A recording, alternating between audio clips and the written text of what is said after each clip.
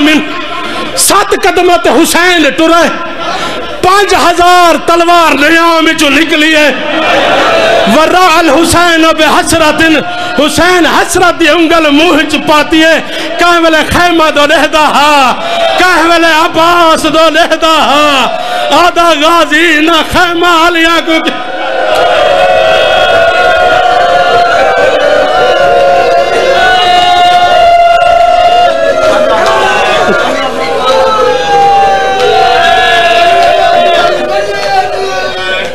نوچھی روایت نجری وسیعت نامے چک لکھی ہے۔ انہاں کے منت کرے، آج جمعہ نا، جمعہ۔ حسین دی شہادت دڑی ہیں ایک ٹائم تا خیمہ دی لوٹی دے۔ انہاں کے میرے میت کو چوائے چاہ گال آخری بابا کرنا چاہنا۔ میری میت کو چوائے چاہ کریم اہل بیت معصوم کم دے حرم چ گھن ونجے میرے میت کو تبوت چو کٹھائے چا۔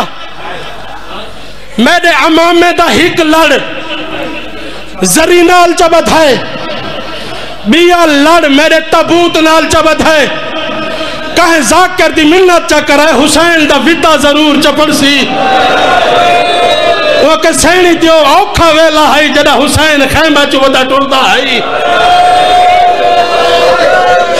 حسین خیمہ چاہے، حسین پہلی حقل ماری ہے۔ میرے تسے پردہ دار میں مسافر دا آخری سلام۔ انہوں دھیاں آئی ہیں، انہوں بھینی آئی ہیں۔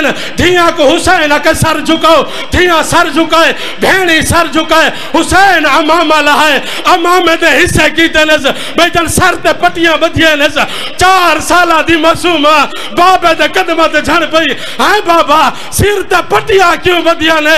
آواز یہ اللہ سے تے میں مارا وجڑا ہے اور انہا ظالمہ تھوڑے خیمہ چاہا وجڑا ہے اگر مرد کو دوڑنا پوے ادا امامہ جھڑ دائے خدا نہ کرے، کسے مستور کو بھجنا پوے ادا سر تو چادر ڈھل پو دیئے وہ کوشش نہ ودا کرے نا، وہ تھوڑے پردے بچے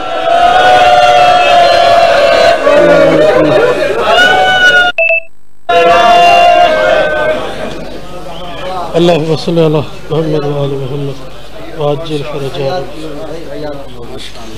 حیاتی ہوئی۔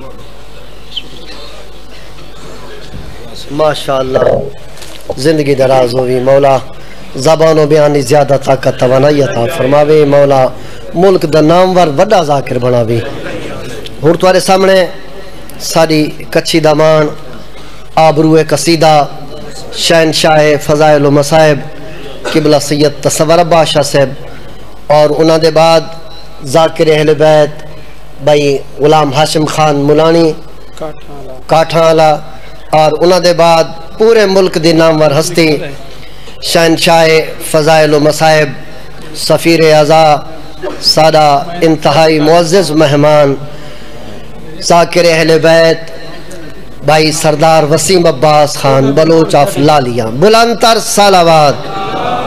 નકોખોના એલાન કરો કે તો જા પે તો બેઠી મેં તો ઓથી જા પે બેઠે દરવાજે તે નખણે નક માહોલ સારા જરા ના એલાન કરો મેં તો કુતે કીધી હિકો કામ રખો ઇના કો આગો બાવણ ઇનામ ઠીક કરે કોઈ રહે ના મને ખણે નું અલે જરા